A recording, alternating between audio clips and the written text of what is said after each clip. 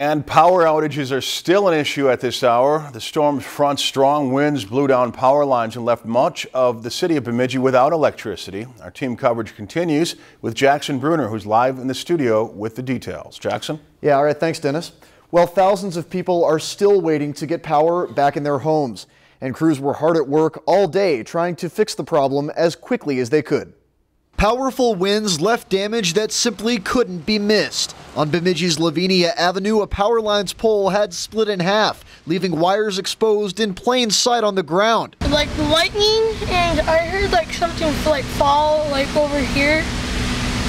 And then lightning, it seemed hit the floor and stuff. The Kudaks consider themselves lucky, but they're just a few of thousands in Beltrami County who are waiting for power to come back on. And authorities say it likely won't happen right away. There's going to be uh, power lines down uh, probably all the way through Thursday, and it's likely going to be into Friday, if not into the weekend, um, before all utilities are uh, able to be restored. Otter Tail Power and Beltrami Electric are working to fix the widespread outages. All the way from you know, South LaPorte area, Benedict, and uh, Cass Lake, and then north of town as well. We have some up there um, in West Wilton, Wilton area too. We have to clear um, the damage out, trees off the lines, those kinds of things first.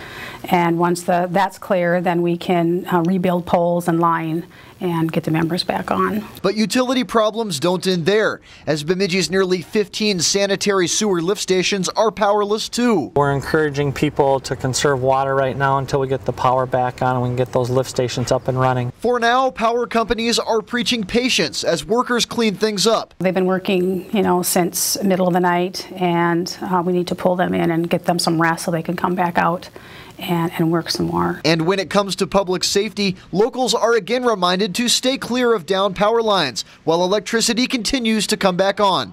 The latest numbers show just under 2,000 people in Beltrami County still out of power between Otter Tail and Beltrami Electric.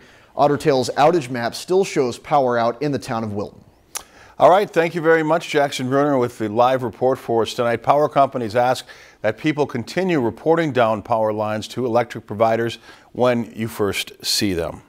If you've enjoyed this segment of Lakeland News, please consider making a tax-deductible contribution to Lakeland Public Television.